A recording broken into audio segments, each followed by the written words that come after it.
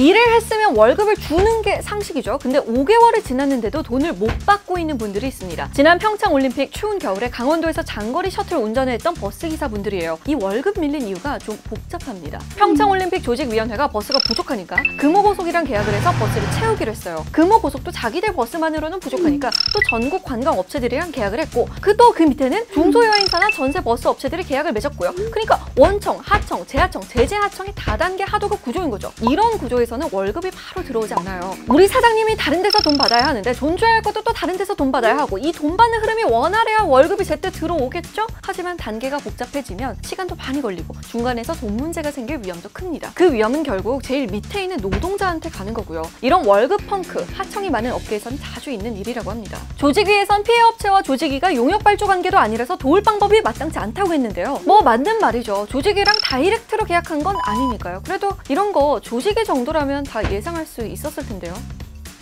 귀여운 우리 댕댕이가 후각으로 암 진단도 할 수 있다는 거 아세요?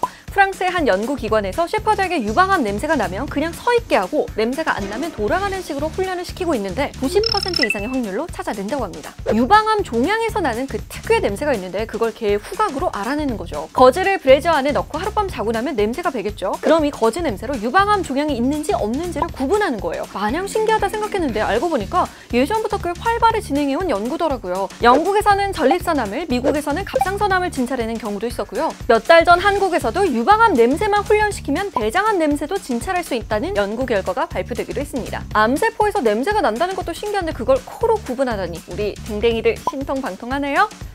제가 촬영 때문에 정신이 없을 땐 가끔 편의점에 가서 그냥 대충 먹거든요. 근데 저는 칼로리랑 나트륨 나름 중요하게 보는데 도시락이나 컵밥에는 칼로리나 영양 표시가 잘 안 돼 있더라고요. 이게 왜 그러지 했더니 법조항에서 즉석식품만 쏙 빠져있기 때문이었어요. 아니 편의점 가면 제일 많이 먹는 것 중 하나가 즉석식품 아니에요? 아이스크림에도 다 표시되는데 도시락에 표시가 없었다는 거 이해가 안 되는데요. 다행히 법안이 개정돼서 2020년부터는 즉석식품도 포함시킨다고 합니다. 요즘 편의점에서 혼밥하는 분들 많잖아요. 영양 성분 꼼 꼼히 따지고 건강 챙깁시다. 근데 우리 2020년까지는 어떡하죠?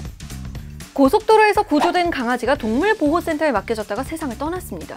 이 강아지가 구조됐을 땐 열사병 증세가 있었고 발바닥엔 약간의 상처가 있었다고 해요. 그런데 보호센터에서 이 아이를 사체 보관실에 넣어버린 거예요. 사체 보관실은 기온이 높아봐야 영상 5도, 거의 냉장고인데 말이죠. 센터장은 마지막 선택한 게 사채 초이시예요. 거기가 지금 시원하거든요, 현재. 올 때부터 상태가 안 좋았고 열을 내리기 위해서는 어쩔 수 없었다라고 말했다는데요. 전문가는 감염 위험이 높은 사체 보온실에 두는 건 말이 안 된다고 비판했습니다. 센터장과 당시 근무했던 직원 사이의 메시지를 보면 또 살아나면 골치라고 말하는 등의 내용도 확인할 수 있는데요. 결국 강아지는 다음날 사체 보관실 구석에서 죽은 채 발견됐습니다. 이 외에도 다른 유기견을 방치해 죽게 만들고 면허가 없는 직원에게 진료 행위를 지시했다 등의 의혹이 있는데요. 센터장은 사임 의사를 밝히면서도 허위 사실이다 라며 법적 대응을 예고한 상태예요. 동물보호센터인데 이 정도면 길바닥과 다를 바가 뭔가요?